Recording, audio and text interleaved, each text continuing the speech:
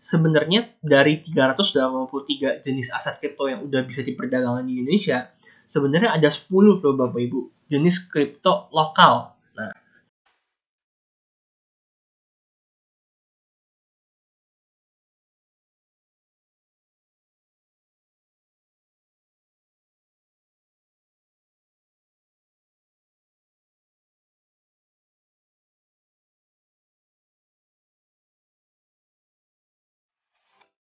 Halo, welcome back. Balik lagi bersama saya Adi Prasetya. Pada kesempatan kali ini saya pengen bahas soal sepertinya bakalan ada tambahan koin legal yang bakal bisa ditradingin di Indonesia. Bahkan salah satunya bakal ada juga koin lokalnya.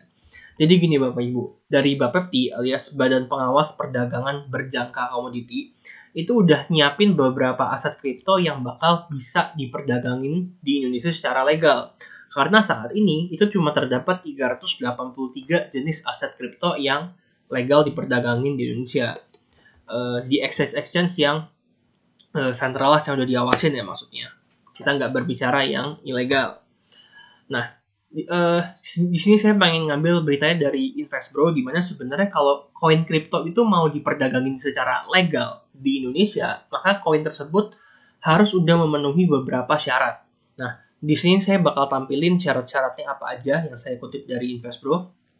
Tapi sebenarnya uh, salah satu yang paling terkenal adalah yaitu kalau mau diperdagangin legal di Indonesia, koin tersebut harus berada pada top 500 atau 500 kapitalisasi terbesar pada aset kripto uh, di dunia. Nah, itu kan uh, filter yang lumayan uh, sadis gitu ya Bapak Ibu. Itu kayak mungkin ilustrasinya seperti kayak saham harus berada di S&P 500 gitu ya. Untuk untuk versi kriptonya tapi. E, karena saat ini cuma terdapat 380 383 aset kripto.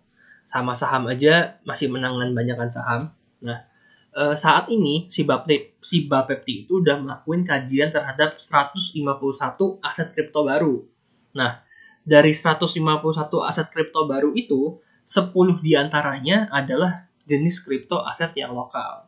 Jadi kita berharap tentunya dengan adanya kebijakan dari di tahun ini dan tahun 2023 bakal banyak bakal ada lah bakal ada dan kita berharap banyak koin-koin baru yang bisa diperdagangin di Indonesia supaya buat nambah kesempatan e, bagi para trader maupun investor-investor kripto yang ada di Indonesia.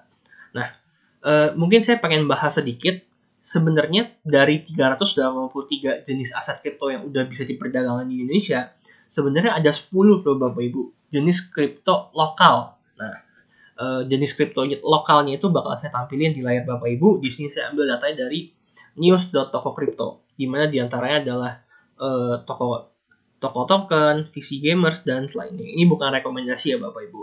Cuman nunjukin bahwa ada loh sebenarnya kripto-kripto tuh juga yang berasal dari Indonesia.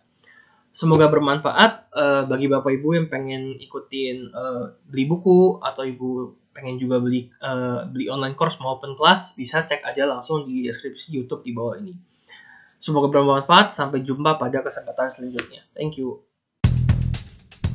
Halo, terima kasih sudah menyaksikan video di RF Channel on YouTube.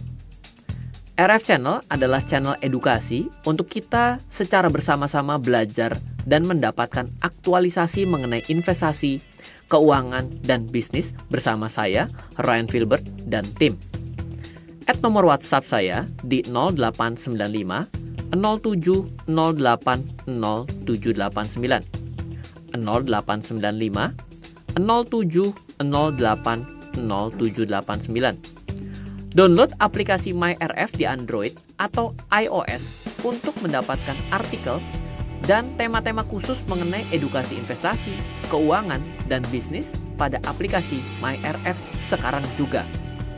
Setiap bulan, saya bersama dengan tim memiliki kelas, mulai dari belajar trading dengan analisa teknikal, yang strateginya bisa Anda terapkan pada seluruh market, mulai dari saham, forex, hingga cryptocurrency, atau kelas investasi saham bernama Fundamental Camp.